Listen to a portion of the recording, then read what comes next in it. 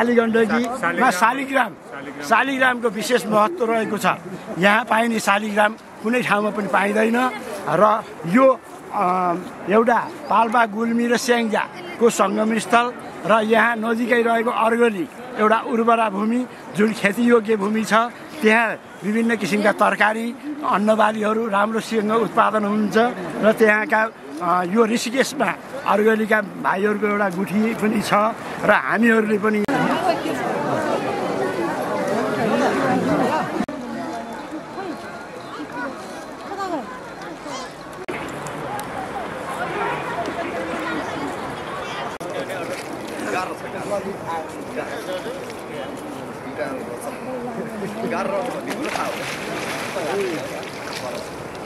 ठुलो के हेर्न त लाग्यो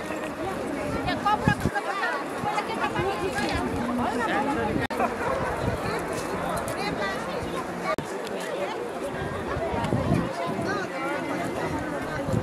म पर्वत जिल्ला खुर्कुटबाट। के को लागि आउनुभयो? म यहाँ गङ्गाजी नुहाउनलाई त्यो त मलाई पुरै थाहा त छैन। मैले टिभीमा देखे अनुसारले यहाँ एउटा ऋषिले बिहा गरेर बच्चा जन्मेर त्यो बच्चालाई उसले मृगले दुध खुवाएर हुर्काएको मैले टिभीमा देखेको त्यति मात्र थाहा छ। अरू पुरा पुरो बारेमा त मलाई थाहा छैन। के नाम हजुर मेरो नाम तिलप्रसाद भण्डारी।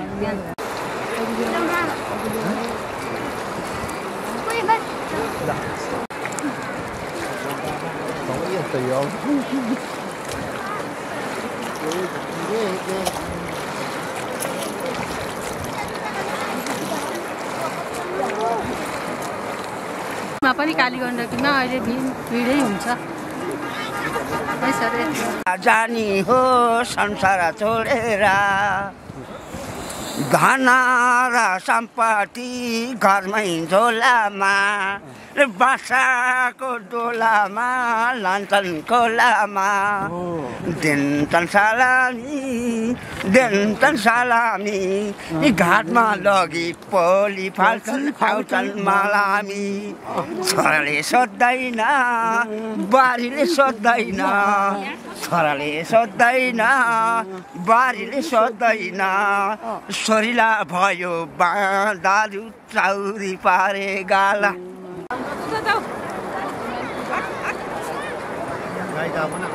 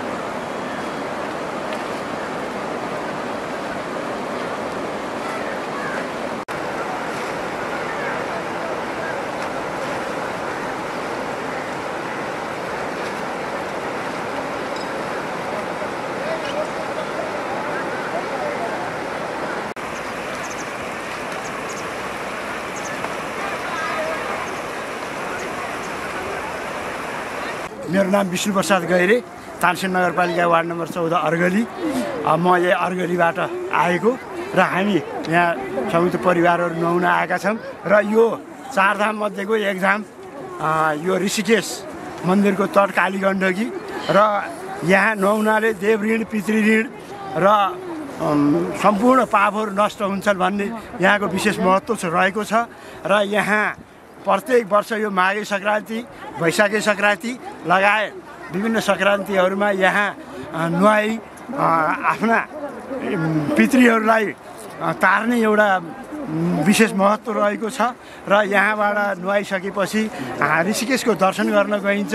यसबाट एउटा प्रफुल्ल आत्मा हुन्छ र यहाँ विभिन्न विगतका वर्षमा यहाँ ठुलो मेला र बजारहरू पनि रहन्थे तर यो वर्षको कोभिड उन्नाइस कोरोनाको कारणले गर्दा यहाँ त्यस्तो हुन सकेन।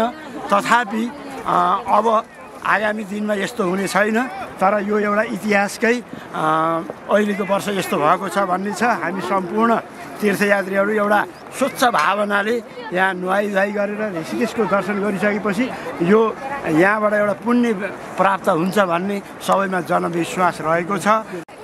दाङबाट आएको सर। हामी हिजो आएको। यो पुण्य भूमिमा नुहाएपछि पुण्य कमाइन्छ भन्ने एउटा विश्वासको आधारमा दाङबाट आएका हौँ नुहाइ गऱ्यौँ। अब यहाँको चाहिँ नि मुख्य कुरा यही नुहाउने रहेछ माघे सङ्क्रान्ति। यसैले मध्यनजर गरेर यही नुहाउनको लागि भनेर हामी धेरै प्रयासरत थियौँ। दुई तिन वर्ष अगाडिदेखि आउनु पाइयो यो पुण्य भूमिमा। धेरै खुसी लागेको छ। अब यस्तो यस्तो अझ व्यवस्थित हुँदै रहेछ। यसलाई चाहिँ नि अझ व्यवस्थित होस्। हाम्रो चाहिँ चाहना फेरि आउँदाखेरि यहाँ त्यस्तै खालको व्यवस्था अझ व्यवस्थित तरिकाले नुहाउनु पाइयोस्। यही हो हाम्रो कामना हजुर। शान्ति घिमिरे म आएको अनि अब यो यसको त रेडी मेलाको त एकदमै प्रसिद्ध मेला हो नि यो त। अनि के भनौँ खोइ